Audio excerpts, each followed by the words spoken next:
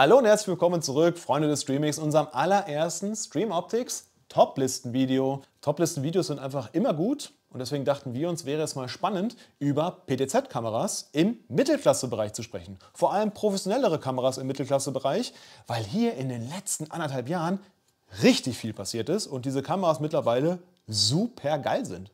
Preislich müssen wir das Ganze natürlich einordnen. Wir haben uns einen Rahmen von maximal 3000 Euro gesetzt, damit wir das Ganze auch irgendwie vergleichen können.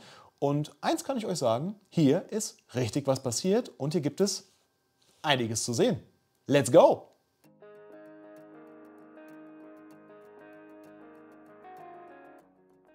Und was kann es Besseres geben, als unsere Topliste mit einem bekannten Kamerahersteller anzufangen? Und zwar Canon.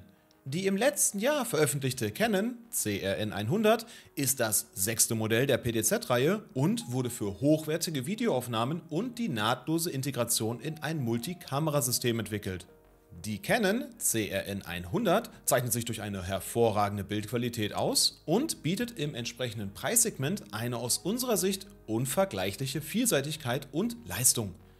Die Kamera verfügt über einen 4K CMOS-Sensor und einem Digic DV6 Prozessor für optimale Bildqualität und bestmögliche Videoaufnahmen. Sie ist mit einem leistungsstarken 20-fach optischen Zoom ausgestattet und liefert so kristallklare 4K UHD-Aufnahmen mit außergewöhnlichen Details. Zudem verfügt die Canon-Kamera über vier verschiedene Bildmotive: Porträt, Sport, Lowlight und Spotlight. Diese lassen sich bei Bedarf auswählen, um das jeweilige Motiv bestmöglich visuell einzufangen. Mithilfe des Hybrid-Autofokus-Systems sind darüber hinaus schnelle und präzise Fokusanpassungen jederzeit möglich, selbst wenn wir sehr schlechte Lichtverhältnisse vorfinden. Im Hinblick auf die 4K-Videoaufnahmen müssen wir jedoch einschränkend festhalten, dass wir anschlusstechnisch auf HDMI beschränkt sind und insgesamt auch nur 30 Bilder pro Sekunde in 4K erreichen. Außerdem verfügt die Kamera über keinen SDI-Anschluss, was sie in Sachen Anwendungsbereich und Vielseitigkeit erheblich einschränkt. Und auch die Auto-Tracking-Funktion von Canon, die, ganz ehrlich, so ziemlich mit das Beste ist, was wir aktuell auf dem Markt finden, sowie die Option NDI sind nicht von Anfang an dabei, sondern müssen per Upgrade hinzugefügt werden, wodurch die Kosten der Kamera insgesamt nochmal erheblich ansteigen. Insgesamt aber konnte uns die Canon CRN100 trotz ihrer Einschränkungen und möglichen Zusatzkosten mit ihrer hohen Verarbeitungsqualität und einem brutal guten und gestochen scharfen Bild überzeugen. Als nächstes sprechen wir dann über einen weiteren großen Hersteller im Kamerabereich, nämlich Panasonic. Die Panasonic AW-UE40 hat inzwischen schon ein paar Jährchen auf dem Buckel, kann aber auch heute noch mit den neueren Modellen auf dem Markt mithalten. Die 4K-Kamera überzeugt uns ebenfalls mit einer hohen Verarbeitungsqualität und gestochen scharfen 4K-Aufnahmen. Die AW-UE40 verfügt über einen 4K MOS-Sensor und wurde mit einem leistungsstarken 24-fach optischen Zoom ausgestattet, wodurch kristallklare 4K UHD-Aufnahmen mit außergewöhnlichen Details genauso gut möglich sind, wie wir es schon bei der Canon CRN 100 erlebt haben. Weitere Besonderheiten sind die Unterstützung des NDI-Protokolls und das Direktantriebssystem Direct Drive, mit dem leise und reibungslose Kamerabewegungen in vertikaler und horizontaler Richtung möglich sind und die Betriebsgeräusche so auf ein Minimum reduzieren lassen. In Kombination mit der optischen Bildstabilisierung sorgt die Kamera insgesamt für sehr geschmeidige Schwenk-Neigebewegungen und hervorragende Kameraperspektivwechsel und Kamerafahrten innerhalb einer Aufnahme. Große Augen haben wir aber trotzdem gemacht, als klar wurde, dass die Auto-Tracking-Funktion nicht noch zusätzlich hinzugefügt werden muss, sondern von Anfang an dabei ist.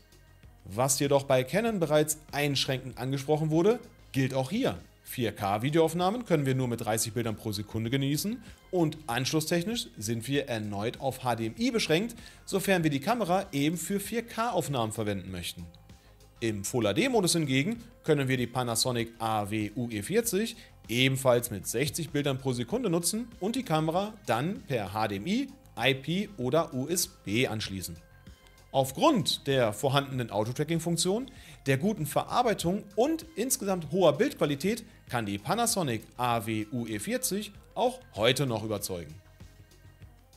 Weiter geht's dann mit Marshall Electronics und der Marshall CV630, die wir auf unserem YouTube-Kanal vor einigen Monaten bereits vorgestellt haben. Die Marshall CV630 gibt es in mehreren Varianten, die sich je nach Modell in Bezug auf ihre vorhandenen Anschlüsse unterscheiden lassen. Verbaut wurde ein 4K UHD-Sensor, mit dem wir sowohl in 4K als auch 1080p aufnehmen können. Im Gegensatz zu den bisher genannten Kameras verfügt die CV630 aber zusätzlich über einen SDI-Anschluss, was die Kamera vor allem für professionellere Studioumgebungen spannender machen könnte. Ebenfalls als sehr positiv zu bezeichnen ist die Möglichkeit, einen 30-fach optischen Zoom zu verwenden. Das aus unserer Sicht aber größte Alleinstellungsmerkmal ist der Bereich der Temperaturen.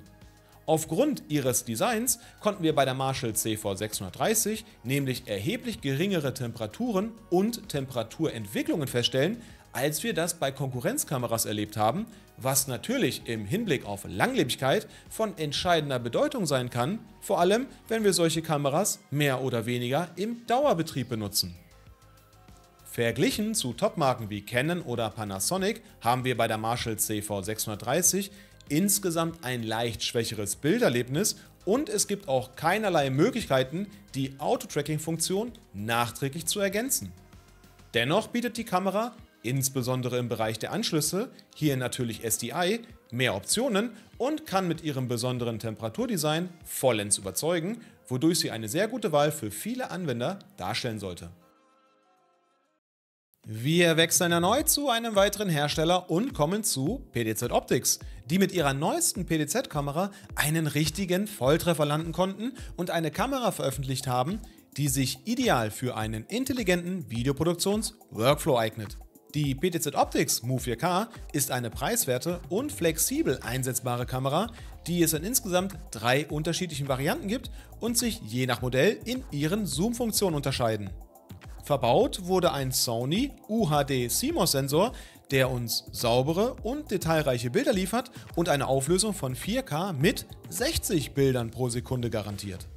Aber auch im Bereich der Anschlüsse lässt die Move 4K nichts vermissen. Die Kamera wird über HDMI, SDI, IP und USB angeschlossen, sodass sie flexibel in allen denkbaren Umgebungen zum Einsatz kommen kann. Generell muss ich sagen, in Sachen Umfang und Ausstattung spielt die PTZ Optics Move 4K im Vergleich zu den bisherigen Kameras unserer Liste in einer ganz anderen Liga. Hier wird für wenig Geld extrem viel geboten. NDI und sogar Auto-Tracking sind übrigens neben der 4K-Qualität von Haus aus dabei und müssen nicht zusätzlich per Upgrade gekauft bzw. hinzugefügt werden. Des Weiteren können wir je nach Modell und angestrebten Anwendungszweck Geld sparen, sofern wir eine der kleineren Move 4K-Varianten auswählen. Einzig im Bereich der Verarbeitung und im Hinblick auf Bildqualität stellen wir jedoch fest, dass die Move 4K nicht auf dem Niveau einer Canon oder Panasonic PTZ-Kamera unterwegs ist. Dennoch ist der Abstand zu absoluten Topmarken verhältnismäßig gering und in ganz vielen Szenarien gar nicht wirklich festzustellen, sodass die Vorteile der Kamera im Bereich des Preises, des Umfangs und der Flexibilität für einige da draußen vielleicht von größerer Bedeutung sind. Zu guter Letzt müssen wir dann aber auch noch über Cartovision sprechen. Die in diesem Jahr veröffentlichte Kato Vision KT UH71 KT ist eine PTZ-Kamera mit sehr ungewöhnlicher Bezeichnung, die uns in unseren Tests Anfang des Jahres extrem überraschen konnte und von uns in unserem YouTube-Video als Preis-Leistungskracher bezeichnet wurde. Vision hat mit diesem Produkt aus unserer Sicht einen neuen Benchmark gesetzt, wenn wir über Gesamtpaket, Leistungsumfang und Kosten sprechen. Die Kamera verfügt nicht nur über einen starken 4K CMOS-Sensor und einer sehr guten Verarbeitungsqualität, sondern liefert uns Aufnahmen in 4K mit 60 Bildern pro Sekunde. Im Vergleich zu den bisherigen Kameras aus unserer Liste erreichen wir 4K jedoch nicht nur über HDMI und IP, sondern auch noch über 12G SDI, wodurch im Grunde genommen alle denkbaren Anwendungsbereiche von 4K-Aufnahmen profitieren können. Des Weiteren verfügt die KT UH71KT natürlich auch noch über NDI und Auto-Tracking. Beide Zusatzfeatures sind von Anfang an dabei. In der Gesamtbetrachtung erhalten wir mit der PDZ-Kamera von Cartovision das umfangreichste und aus unserer Sicht auch benutzerfreundlichste Gesamtpaket. Einzig im Bereich der PTZ-Rotation und in der Bildqualität haben wir geringfügige Nachteile im Vergleich zu Top-Produkten festgestellt. Für all diejenigen aber, die auf der Suche nach einem Sorglospaket mit sämtlichen Features sind, ist die Cartovision KT UH71KT trotz ihres sehr komplizierten Namens eine wirklich sehr spannende Wahl. Das war sie nun also, unsere kleine Stream Optics PTZ Kameraliste im Mittelklasse-Preisbereich. Ich hoffe, dass ihr vielleicht eine Kamera im Video gesehen habt, für die ihr euch jetzt ein bisschen mehr interessiert oder die ihr vielleicht noch gar nicht kanntet und wo ihr euch jetzt denkt, hey, das könnte eine für mich sein. In Zukunft wird es aber auf jeden Fall auch noch ein Video für PTZ-Kameras im Einsteigerbereich geben. Bis dahin bleibt mir wie immer nicht so viel zu sagen. Vielen Dank für eure Aufmerksamkeit und bis zum nächsten Mal. Stream Optics out.